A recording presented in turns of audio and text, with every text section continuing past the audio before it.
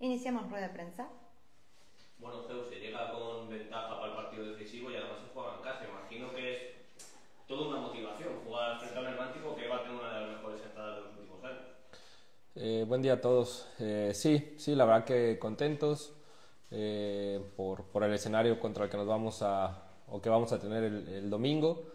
Eh, muy agradecidos con la afición como siempre por el esfuerzo que hace y bueno, sabiendo que, que falta un pasito y eh, seguramente es el paso más complicado que hay que dar este año. ¿cómo de cerca está el ascenso? No, nada, estamos eh, a la mitad del camino. Eh, al final eh, falta un partido, lo repito, el más importante y es el que define todo. No, es un partido que hay que salir y hay que ganarlo para poder conseguir el ascenso. ¿Cuáles crees que pueden ser los peligros del Getafe aquí, Leo? Las transiciones, la velocidad que tienen. eh, yo creo que es algo que ellos tienen muy, eh, muy interiorizado, que, que lo dominan muy bien y, y es el peligro más, más latente que hay. Eh, cualquier transición son muy rápidos, eh, manejan bien eh, esa situación y es con lo que tenemos que tener cuidado.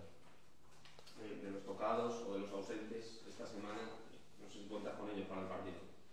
Sí, sí, sí, sí, todos tienen molestias normales. Eh, tal vez Viti es el que por ahí nos, nos preocupa un poquitín más, pero el resto molestias normal de, de 11 meses de, de estar compitiendo. Esta semana ha vuelto Martín Galván. eh, ¿Es muy atrevido meterle en convocatoria?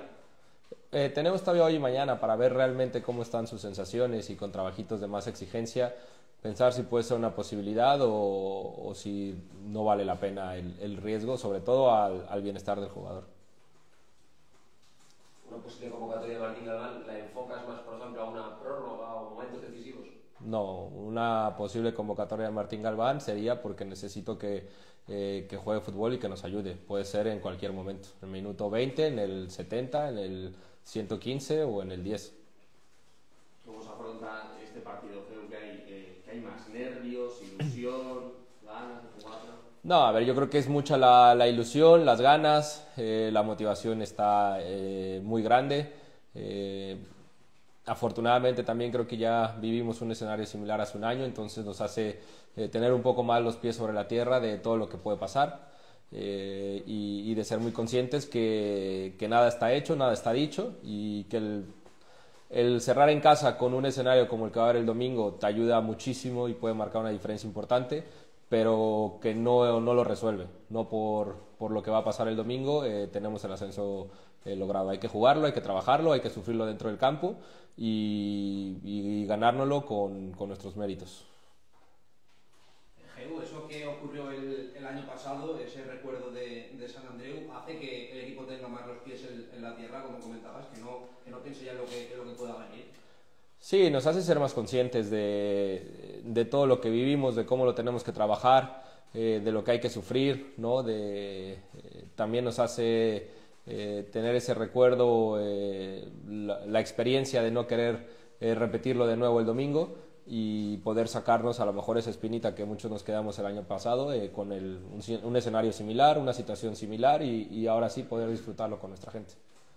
¿Puede ser que en estos partidos que se juega tanto el equipo, el corazón pueda la táctica? Siempre.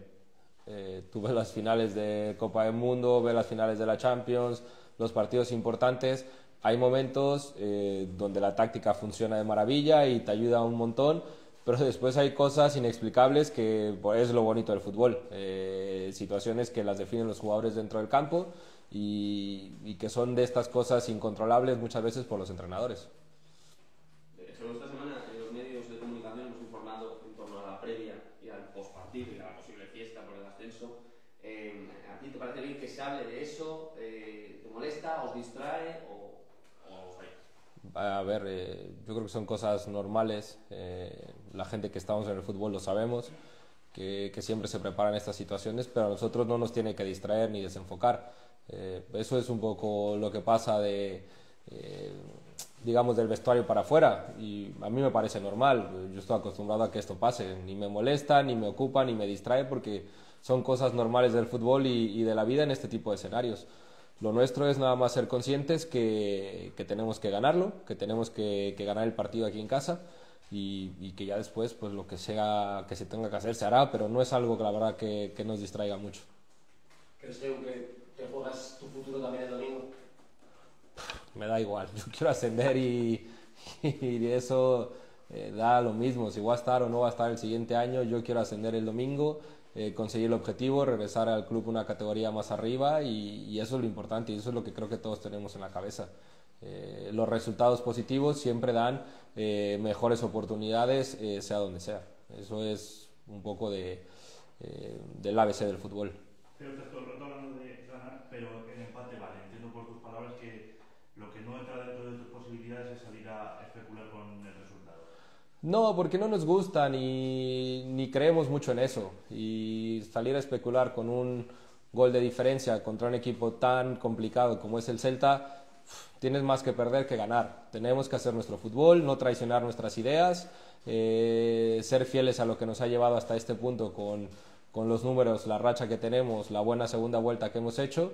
Eh, no podemos desviarnos de, de, lo que somos como equipo, de lo que creemos como grupo y eso creo que nos va a acercar muchísimo más a, a poder conseguir el, el, objetivo. Imagino que en tu cabeza tampoco está el no ascenso, ¿no? Nunca. No, no ha pasado. Chicos, ¿alguno más? ¿Estamos? Gracias, Geo. De nada.